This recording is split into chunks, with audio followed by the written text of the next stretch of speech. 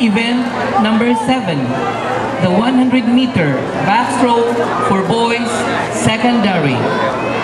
The standing palaro record in this event is 1 minute 0.79 seconds held by Johansen Aguilar of the National Capital Region, established in the 2009 Palarong Pambansa held in Tacloban City.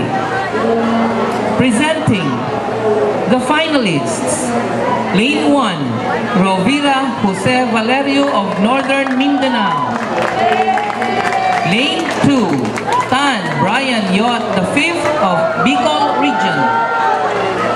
Lane 3, Santos Jan Jeric of the National Capital Region. Lane 4, Agtarap Richard Jan of Calabarzon. Lane 5, Mui Axel of the National Capital Region.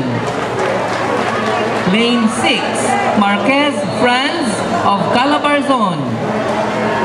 Lane 7, Akain Joshua of Northern Mindanao. And Lane 8, Anos Fritz Del of Cotabato Region.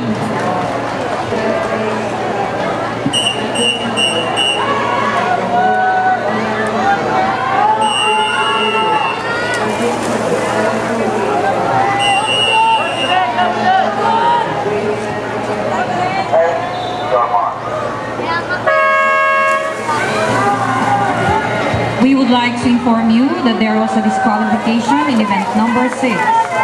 Lane 4.